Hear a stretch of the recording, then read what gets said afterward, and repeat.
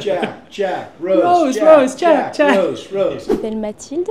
Je suis euh, comédienne et chanteuse. On est un chœur de 42 personnes. Euh, Il y a des professionnels, il y a des amateurs. On est réunis sur une semaine pour trois ciné-concerts euh, avec le Symphonia Pop Orchestra. Là, c'est vraiment un orchestre professionnel pour donner trois représentations de Titanic en ciné-concert. Comme on le fait euh, condensé sur une semaine, c'est euh, hyper intense. À un moment, on est très euh, les unes avec les autres. Donc c'est super parce que c'est des moments très très forts. La musique est sublime. L'avantage du ciné-concert, c'est que euh, c'est la musique qui prend un petit peu le pas euh, parfois sur le film. Je trouve que ça rend tout un peu plus fort.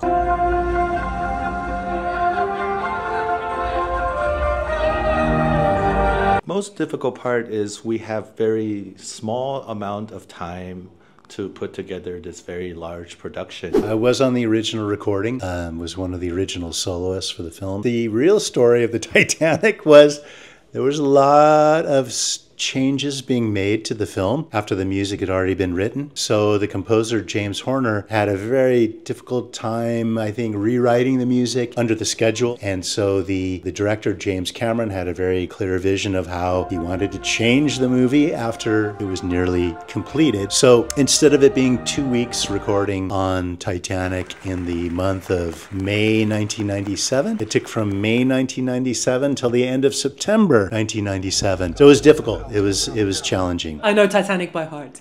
I would say yes, and uh, sometimes in a rehearsal, in in a informal moment, uh, we might kind of mouth the lines to each other.